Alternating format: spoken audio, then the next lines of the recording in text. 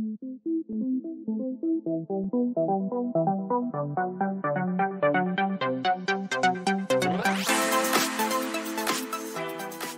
පියුමි ශ්‍රීනායක කියන්නේ බොහොම සුන්දර යුවතියක්. මේ වෙනකොට කලාලොවේ රංගන ශිල්පිනියක් ලෙස බොහොම නිහඬ සම්බර ගමනක් යන පියුමි ශ්‍රීනායක මේ දිනවල අපිට හිරුනාලිකාවේ විකාශය වන ටෙලිනාට්‍යයකින් හා සිරස නාලිකාවේ විකාශය වන නීල පබලු ටෙලිනාට්‍යය හරහා දැක ගන්න පුළුවන්. ඉතින් පියුමි ශ්‍රීනායකට පොඩි කරදරයක් වෙලා තියෙනවා. ඒ තමයි ඇගේ ආදරණීය මලනුවන් යම් කිසි රියානතුරකට ලක් වෙලා තියෙනවා. මේ රියානතුර සම්බන්ධයෙන් CCTV දර්ශන මේ වෙනකොට නිකුත් වෙලා තියෙනවා. මෙම CCTV CCTV දර්ශන සමඟ සංවේදී වීඩියෝවක් සැකසූ පියුමි ඇගේ ඉන්ස්ටග්‍රෑම් හි මෙය පල කර මෙවැනි සටහනක් තබා තිබෙනවා. මේම සටහනයි. මේ මගේ මල්ලි ඇක්සිඩන්ටුන වීඩියෝ එක. මගේ මල්ලි ඇක්සිඩන්ට් වෙලා විනාඩි පහලවක් යනකන් මහපාරෙ පනාදිනවා. ඔත්තනට එන කිසිම කෙනෙක් මගේ මල්ලි වල්ලන්න ඉවත් නැහැ. විනාඩි පහලවකට විතර පස්සේ මල්ලිව හොස්පිටල් අරන් යනවා පොලිස් නිලධාරීන් දෙදෙනෙක් ඇවිත්. මේ ඇක්සිඩන්ට් එක වෙන්නේ නිට්ටඹුව කලගෙඩිහේන. මල්ලිව හොස්පිටල් එකට අරන් යද්දිත් එයාගේ මොලේ මැරිලා ඉවරයි. මගේ මල්ලි මල්ලි මමයි පෞද්ගලිකෝ පාරෙ පූස් පැටියෙක් හැප්පිලා හිටියත් අපි ඒ සතාව බේරගන්න කරුණික වෙනවා. ඒත් කෝ මේ මිනිස්සුන්ගේ මනුස්සකම.